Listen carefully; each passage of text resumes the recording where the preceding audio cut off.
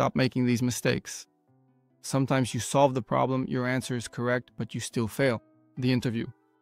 Let's look at the mistakes that leaders make in this problem. The first mistake people make is that they start pulling out the baseline right inside the loop. So you end up doing this every time on every iteration. But this only needs to be done once outside the loop, right here. The second mistake people often make is that they frequently create a new array on every iteration. As a result, we end up creating a large number of unnecessary arrays.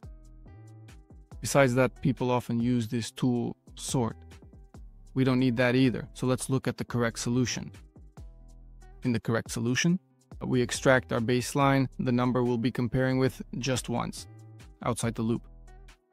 And then with just a single run of the loop over all the candies we have. We can compare these numbers, extra and extra candy, and the candies that the current child has, and compare them with our baseline. So here, basically, there are only three main actions that we perform. And if you do anything beyond that, you're making a mistake. Let me repeat that once more. We run a loop, we add extra candies to our current child, and we compare them with the baseline which we extracted before the loop.